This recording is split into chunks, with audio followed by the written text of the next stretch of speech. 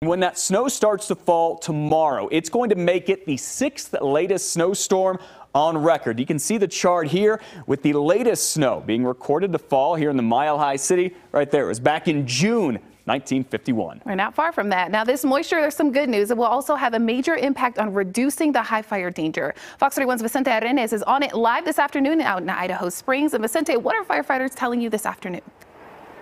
Uh, uh this moisture coming this way, Talia, is all the talk in Idaho Springs. Fire department's talking about it. The people who live in this town are talking about it. They are so thankful this moisture is coming this way. Along with it, a lot of wind. Let me show you some of the video that we shot earlier today.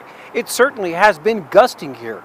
Uh, you mix in this wind with any small fire and there could be real problems. Our pinpoint weather meteorologists have been telling us there have been a record 28 red flag days this year, a record.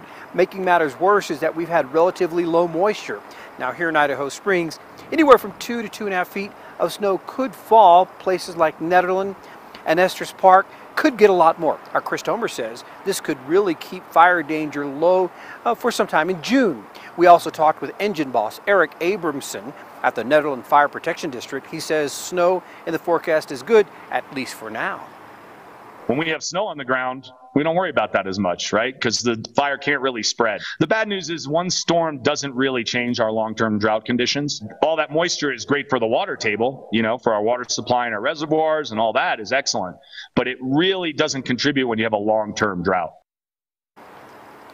So after the snow moves on, we just keep watching and waiting. It's kind of like feast or famine. It's been dry for so long, and then all of a sudden you just have this big wallop of moisture coming through, then it gets dry again. Now here in Idaho Springs, they have been preparing. They've done a couple of things to get the city ready. A city that's used to snow, even this is having them doing things a little bit differently, at least for starting tomorrow.